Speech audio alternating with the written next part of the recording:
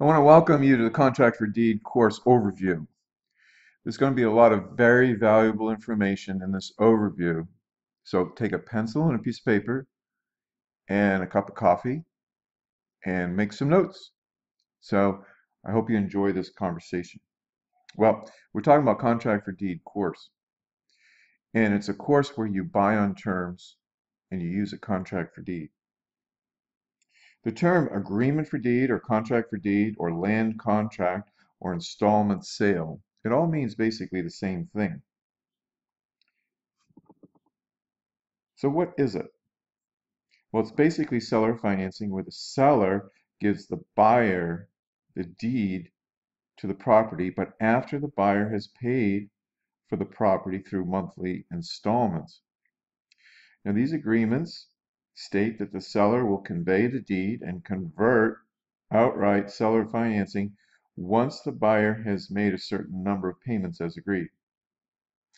Now, if you're going to buy under an agreement for deed or contract for deed, if you're looking for a home or investment property by putting little or no money down, or without qualifying, this contract for deed is a great way to do it. It's fairly easy to get a motivated seller to do a contract for deed, even if the seller is concerned about their credit or concerned about the due on sale clause. The seller can feel more in control with the fact that the deed hasn't transferred yet, and this is important to some sellers who are concerned that you are not going to follow through with your side of the agreement. Now, as a buyer, it's important to know that many banks will allow you to refinance an agreement if you've had a regular seller finance mortgage. This can be very helpful if you need time to build up your credit and want to get into a house without needing a large down payment. And with a refinance loan, you don't need to put money down like you would a normal purchase loan. This means that you could purchase a property under an agreement for deed from the seller using no money down or little money down, and then rather refinance the agreement for deed and pay the seller off. Now, as part of the refinance, you can also roll the closing costs into the loan and not only close with no money, but also possible you could walk away with closing with money in your pocket. It's rare, but it's possible. If you sell under a contract for deed, I'm going to put a big warning flag. Be very cautious about selling with uh, contract for deed. If you own a property and want to sell it creatively, uh, contract for deed is not your best choice, mainly because contract for deed is so much like a seller held mortgage that you have to foreclose on a buyer if the buyer defaults. Now, in some states, foreclosures are done fairly quickly so it might not be much of a factor, depending on what state you live in. Now, for the most part, if you want to sell a property with seller financing but want to retain control and not have to worry about filing a foreclosure, lease options are your best bet. Now, we cover lease options in another section. Because many states require that you foreclose an agreement for deed or contract for deed you will not want to use them when selling, but you, you want to use a lease with option instead. Now, what if you're reselling when you're buying under a agreement for deed? How do you, what's your exit strategy?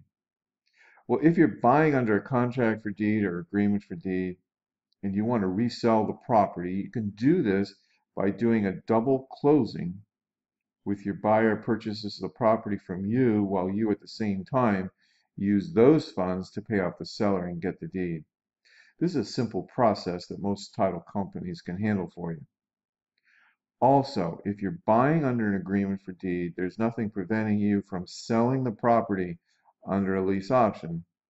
At the point the buyer exercises their option, you simply do a double close as we stated.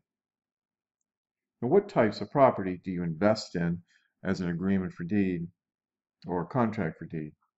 When it comes to the types of properties, uh, it's a good investment, is a good candidate if the seller is flexible enough.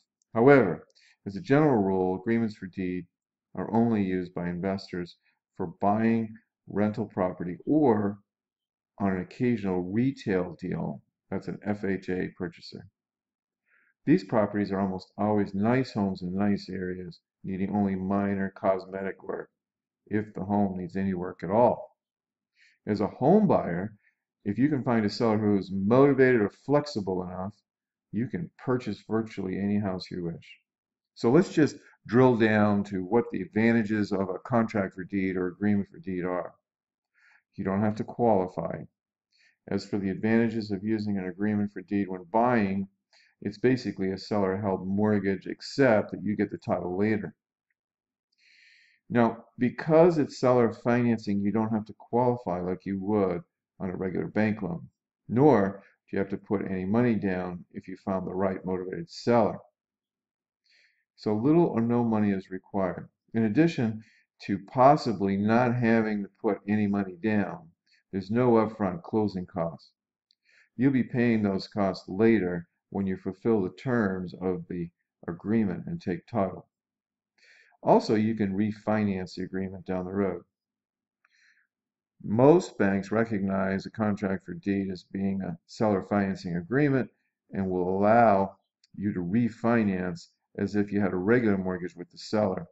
Because of this, an agreement for deed or contract for deed can be very helpful stepping stone in getting a bank loan without having to come out of pocket for a down payment or closing costs. Now, what are the disadvantages of an agreement for deed? Well, it does come with a couple. There's a due on sale clause issue.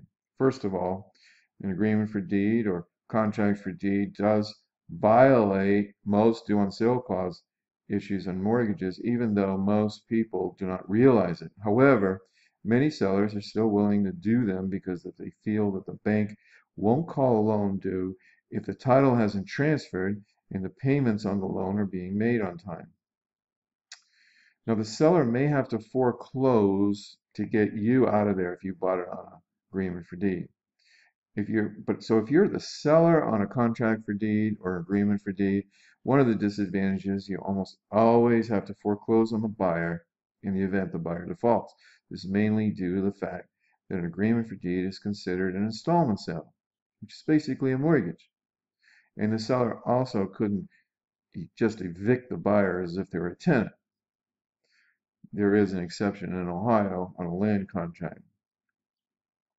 As a buyer, you don't always want to counsel the seller on what you would be done in the event that you defaulted. After all, you as the buyer are supposed to follow through on the on the agreement and not be in default. So the seller might wonder, you know, why you would be disclosing this. Also, every seller can seek legal counsel if they wish. You will, however, want to let the seller know that an agreement for deed does give rise to the due on sale clause, and at the same time, you want to explain to them that it's highly unlikely that any bank will call a loan due when the title hasn't transferred and the payments on the loan are being made.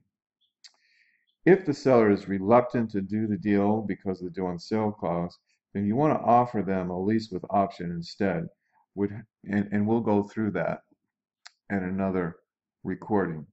So I want to thank you very much for listening to this introduction to contract for deed course. It's a wonderful way to buy a property without a lot of money down. And if you can build a portfolio of contract for deed purchases and either do a lease with an option exit or just a, a, a lease, this should help you. So thank you for listening to this recording. I wish you every success in your real estate investing.